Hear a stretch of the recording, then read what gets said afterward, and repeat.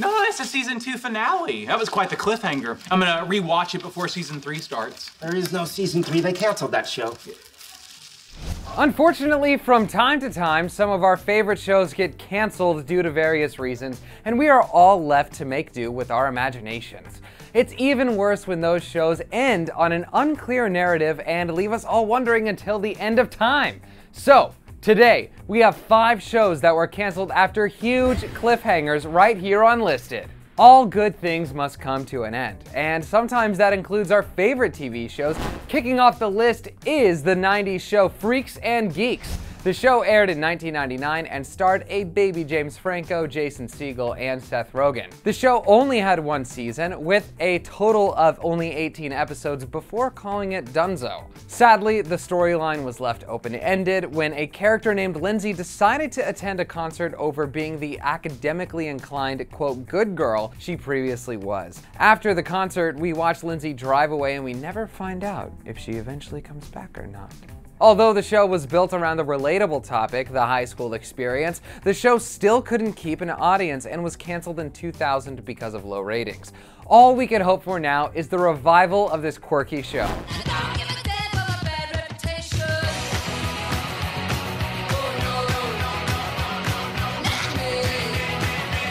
Next up, we have a show that told a completely different tale of what it's like to grow up, especially when you wake up without a belly button. Didn't expect me to go that route, did ya? Kyle XY was an ABC show all about the mysterious origins of a teenage boy found in the woods who had no recollections of his past. The show aired for three seasons, and when it came to the series finale, the writers thankfully revealed who Kyle's father is. But then, they left a lot of things hanging when it came to Kyle's love life in question. I suppose we'll take what we can get and hope that Kyle had a happy ever after. My eyes weren't sure what they were seeing.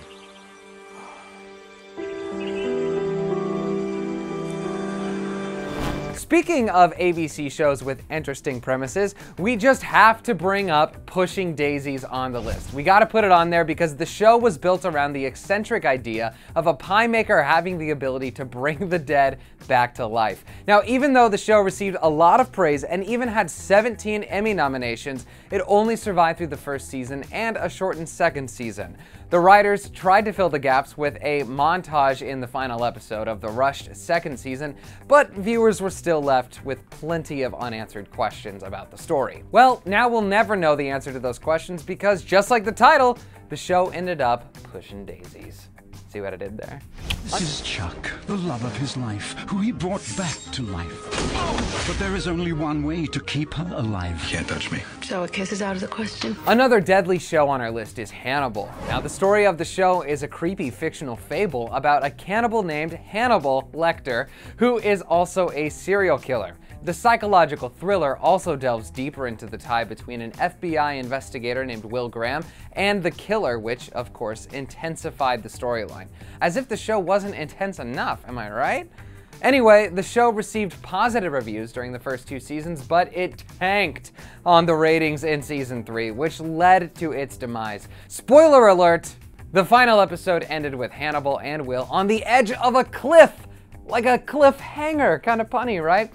To some, this was even an acceptable ending, but the writer of the show still left some plot holes to be filled in case of a possible revival, which they didn't get. But I'm recommending a psych eval. Dr. Hannibal Lecter. Good evening, Will. Agent Crawford tells me you have a knack for the monsters. While cliffhangers suck, some writers leave us with cliffhangers so bad that it makes us question our existence. Okay, that's a little dramatic, but this was pretty true for the show Southland, a crime TV show that told the tales of the officers in the Los Angeles Police Department.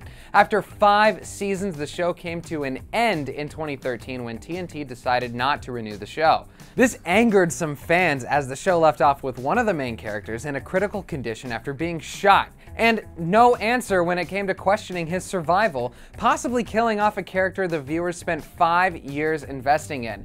Yeah, that definitely sounds like a cruel and unusual form of torture. You're a cop because you don't know how not to be one. If you feel that way, you're a cop. If you don't, you're not. I suppose we'll never truly know what the end was truly supposed to hold for these beloved characters. Now I want to ask you, was there a show on the list that you were a fan of in the past? Mine was Kyle XY. Now perhaps there was a show that we didn't mention that ended in a cliffhanger. So let us know that in the comment box below and after you're done, click here to watch best crossover TV episodes. I'm your host, Tom Plumley. Thanks so much for watching Listed, and I'll see you next time.